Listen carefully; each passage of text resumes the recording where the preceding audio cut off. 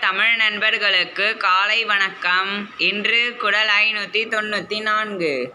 பொருட்பால். அதிகாரம் அறுபது ஊக்கமுடைமை. குடல்.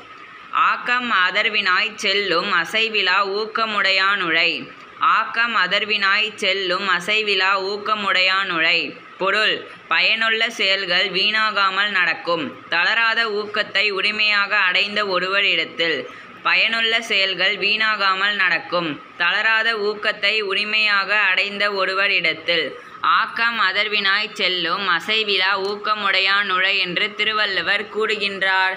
நன்றி மீண்டும் நாளை சந்திப்போம். வணக்கம்.